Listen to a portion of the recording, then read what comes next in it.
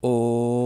Hola a todo el mundo, sean bienvenidos a canal Proyecto Chile. En esta ocasión quiero mostrarles cómo fue discutido y votado en la sala de la Cámara de Diputados un informe de Comisión Especial Investigadora, en este caso la que se encargó de fiscalizar los actos del gobierno señalados en su mandato relacionados con el sistema de protección financiera para el diagnóstico y tratamiento de enfermedades de alto costo. Esta fue la cuadragésima comisión de este tipo creada en la Cámara Baja a partir del año 2022. De hecho, todas ellas las pueden apreciar abajo en la descripción de este video por si le quieren echar un vistazo. El informe o más bien las conclusiones de esta en específico fueron votadas durante la sesión ordinaria de sala del lunes 12 de agosto del año 2024 siendo respaldado el informe por 102 votos a favor y 14 abstenciones. Para darnos una idea de en qué consiste, un buen resumen nos lo entrega el sitio web de la Cámara de Diputados, que al respecto nos señala lo siguiente. Apoyan informe de investigadora que acusa estancamiento de ley Ricarte Soto. Esta comisión indagó en la no incorporación de nuevas tecnologías para el diagnóstico y el tratamiento de enfermedades de alto costo, donde concluyeron que existe un estancamiento de la conocida como ley Ricardo Soto al observarse una desidia de las autoridades en su aplicación desde el año 2021 a la fecha. Sobre este punto en específico se resaltó que en el gobierno anterior, es decir, el de Sebastián Piñera, a sabiendas que debía publicar el decreto número 5 correlativo a la ley en junio del año 2022 para integrar nuevas tecnologías y que se alcanzase el techo de sustentabilidad, no se incorporaron fondos adicionales en la ley de presupuestos de tal año. Sin embargo, se resalta que la actual administración tampoco integró recursos adicionales en las leyes presupuestarias de 2023 y 2024. En este marco, se estima que es responsabilidad de los gobiernos el impedir la paralización de esta ley. De hecho, según informó la Dirección de Presupuestos, también conocida como DIPRES, desde 2019 los egresos del fondo superan los ingresos anuales. Por ello, la comisión recomienda que los ministerios de salud y de hacienda adopten las medidas pertinentes para aumentar el presupuesto de la normativa a través de la ley de presupuestos o mediante el proyecto de ley que la modifica. Boletín 15047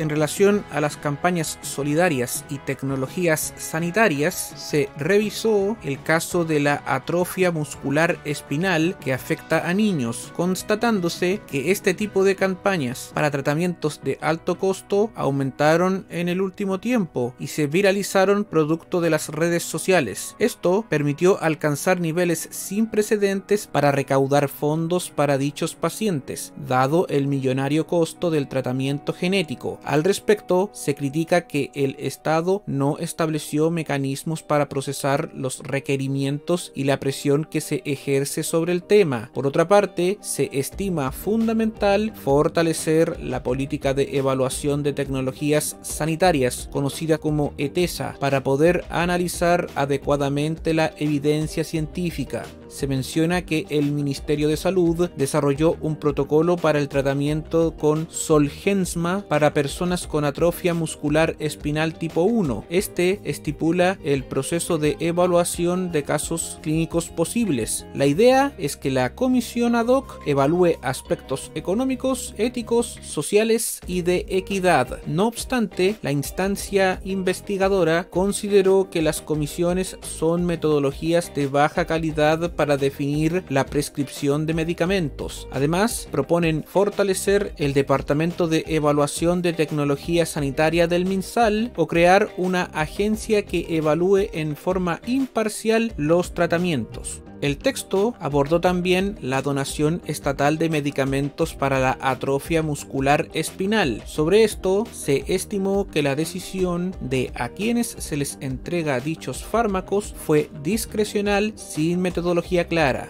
También se observó que los tratamientos multimillonarios consumirían rápidamente el fondo. Sin embargo, la comisión reconoció que no existe otra política pública para financiarlos. Por ello, se promueve la adquisición dosis por volumen o acuerdos de riesgo compartido, conocidos como ARC. Paralelamente, en la sesión de sala se criticó que el Estado decidiera responder a la judicialización en vez de financiar tratamientos de forma ordenada, sistemática y con evidencia científica, y que ello es una medida discriminatoria, porque no todos tienen recursos para llevar un proceso judicial hasta la instancia de la Corte Suprema. Por tal razón, se insiste que los recursos destinados al fondo de judicialización sean traspasados a la ley Ricarte Soto. Aquí hay que acotar de que este fondo es discutido y votado en las leyes de presupuesto cada año. Otros aspectos cuestionados en torno a estos asuntos fueron el servicio de atención con soporte ventilatorio en domicilio y la inacción de las autoridades para ampliar la pesquisa neonatal. Asimismo, se llama a fortalecer la fiscalización en el sector privado, refiriéndose a las ISAPRES, y a escuchar a las organizaciones de pacientes. Durante esta sesión intervinieron los parlamentarios que aparecen aquí en la pantalla, quienes junto con respaldar el informe destacaron la necesidad de fijar un monto anual para este programa, inyectando recursos a través de la ley de presupuestos. Asimismo, instaron a modificar y actualizar la ley de donaciones, siendo esto entonces todo lo que tengo que mencionarles por el momento. Espero que quien haya llegado hasta aquí se encuentre sumamente bien. Visiten todos los canales asociados a Canal Proyecto Chile. Muchas gracias y hasta luego.